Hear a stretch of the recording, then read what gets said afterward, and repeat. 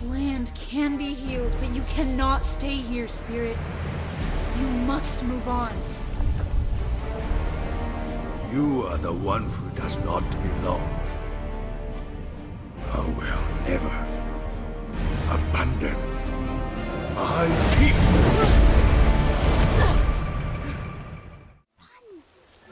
Welcome back to another episode on Beho Reviews in Gaming and Entertainment. In this episode, we take a look and review Game of the Year Award for Best Independent Game, Kena Bridge of Spirits. After I saw the trailer for this game coming soon for the Sony's PlayStation 4 and 5, this was a game that looked fantastic with its beautiful environment and an interesting story. I knew this was one of the games that I had to get for the PlayStation 5 and glad I picked up the PlayStation 5 as well. You will see this review for the PC version though of the game and it's very simple. When the time came to pick the game up, this title was for $50 on the PlayStation 5 and literally $20 on sale on the Epic Game Store on PC. I'm pretty much guessing you know which way I took. Kena Bridge of Spirits was developed and released by Ember Lab for Microsoft Windows and PlayStation 4 and 5. All I have to say is that this game is beautiful. We need to get this out of the way first. The game's environments and detail to lighting is incredible. As I played through any and all parts of the game, I was never not impressed with the visuals as the design team really came through. Visuals are not the only thing that makes the game. Right away, I felt that this game feels like two other games mashed together that would be Dragon Age Inquisition and from the rebooted trilogy of the Tomb Raider series. I know that sounds like a weird mesh, but it really does work. The controls and exploration are very responsive as you explore, climb, and traverse through the world. It does feel a bit like Lara Croft and Tomb Raider, which isn't a bad thing as their controls was one of the main reasons I kept coming back. Same exists here as the player is controlled with very tight controls and always something you would want in an adventure game. The story is that the world has those that have passed on may remain in the physical and spirit world if they were traumatized or have unfinished business. Spirit guides like Kena are used to help those move on. I sense suffering here, Spirit. Do you need help? You know nothing of suffering.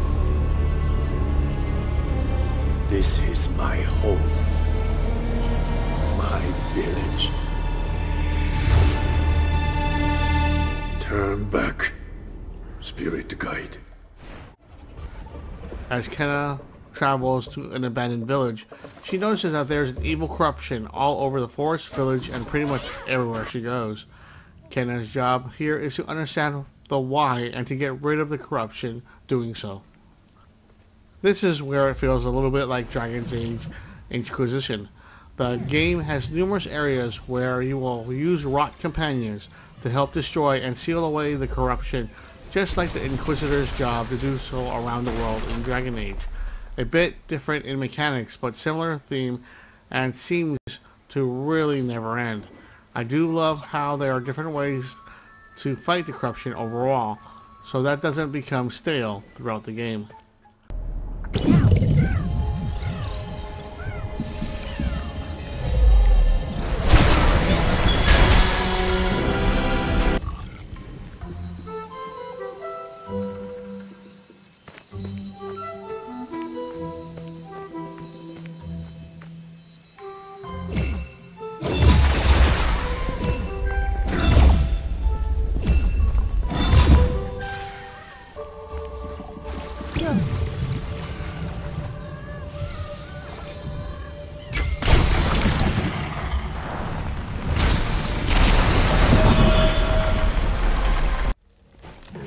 The action in the game is fairly light, as they do have upgrades that is paced well so you aren't overpowered from beginning to end. It is fun to control Kena in battles. The controls are quick and responsive and you will need them to dodge or use shields to block. There are life plants around to help you through boss fights as well, but you will have no issues with the fight sequences where I wish there are more of. The meat of the game and pretty much the hardest part of the game is the very puzzles in the game, where the game is very puzzle heavy where you must solve them before moving on.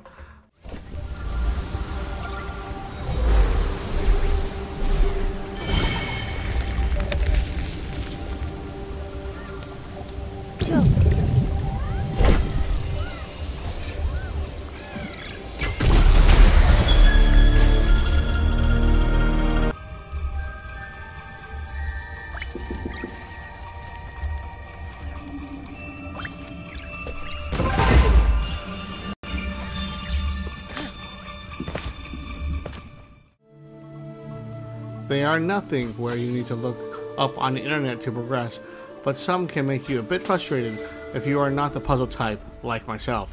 Once you get further and further, items and upgrades help you platform from one area to the next and makes you feel a sense of accomplishment for getting there. You pretty much just feel good the further you progress. The story itself is memorable and emotional, but it isn't the meat of the game. The game is about 10 to 15 hours long, but I do thoroughly enjoy the journey. Although slated as an independent game, the overall quality here shines higher than a lot of big budgeted games. I originally thought this was another great single player game from Sony themselves before later researching the game itself. Although visuals really starts the conversation in any game, the gameplay here really shines in tandem in creating a world that is a bit cut short, but understandable on what the team was trying to do and what they did was fun and memorable. Kena, Bridge of Spirits, gets an 8.5 out of 10 for its wonderful gameplay and visuals that really keep you busy with heavy emphasis on puzzle solving mixed in with platforming and added sequences of action with fun boss encounters that keep the game honest uh, with the best of them in action and adventure games. That's it for me on this look at Kena, Bridge of Spirits. Please like and subscribe if you like my videos. Beho out and great. Take us out of here, and I will see you all next upload. Draw on its power.